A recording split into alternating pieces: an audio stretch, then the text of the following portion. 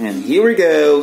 Question 6. A questão 6 pede o seguinte: Complete 1 to 9. Detalhe, só são 8, né? Então, erro da questão, na verdade. With a verb ou verb phrase in the present continuous. Então, complete de 1 a 9, nesse caso de 1 a 8, né? Porque ele só tem 8, com um verbo ou um, uma expressão, né? Uma frase com um verbo, né? No presente contínuo. O que seria um, um verb phrase? Seria justamente um, um, verbo com outra coisa, certo? Por exemplo, quando você fala é, fazer as compras, go shopping, né? Quando você fala acordar, get up, beleza? Take a shower, tomar banho, por exemplo. Não só um verbo, mas é um verbo com uma frase. Então, no presente contínuo. O presente contínuo é o que? A ação que está acontecendo. Tem todas essas figuras aqui para auxiliar, porque tudo isso está acontecendo. Então, a gente precisa descrever, ó.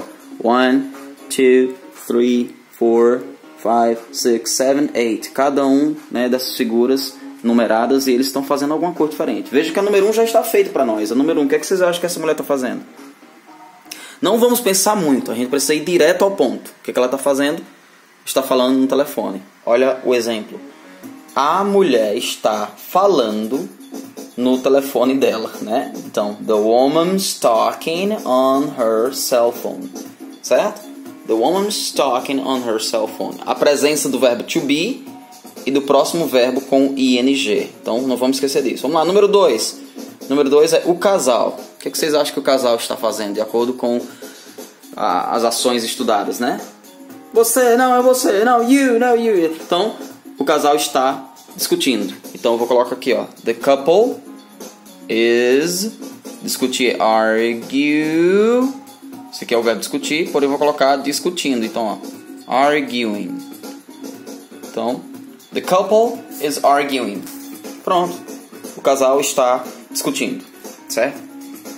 Vamos lá, number 3.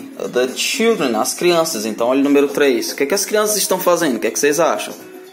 As crianças estão jogando bola. Então, vou colocar isso, né? The children are, estão jogando, playing e bola. Então, eu vou colocar aqui futebol, porque eu só estou trazendo para o nosso português.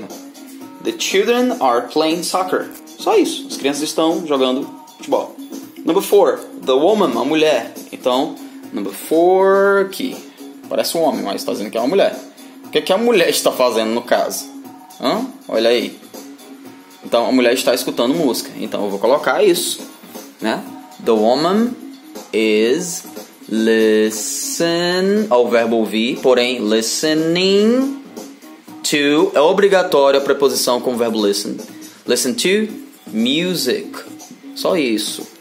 The woman is listening to music. Number five, the baby. E aí? O que, é que o bebê está fazendo? What is the baby doing? Yeah, o bebê está chorando. Então vamos lá. Eu coloco the baby is crying. Agora sim, está chorando. Então está chorando. The baby is crying. Number six, the dog. E aí, o que é que o cachorro está fazendo? O cachorro está latindo, né? Então por isso que é bom estudar, né? Os verbozinhos cobrados aqui, ó. The dog is. E aí o verbo bark é o verbo latir. Então é o barking, latindo. The dog is barking.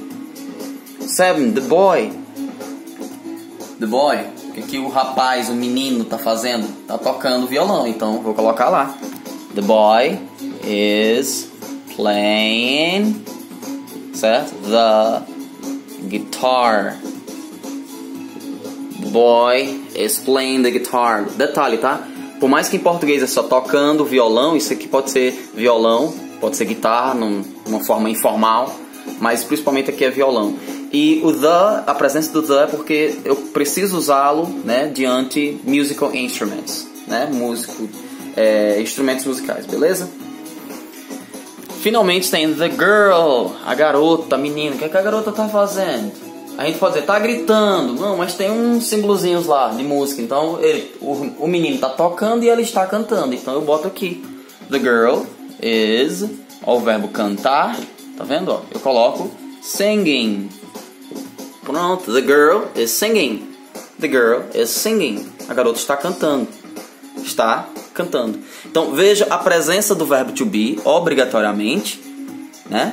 a característica do presente continuous, né? Present continuous. E a próxima ação com ing. Todas as ações, a próxima depois do verbo to be tem ing, porque é o nosso ando, endo, indo.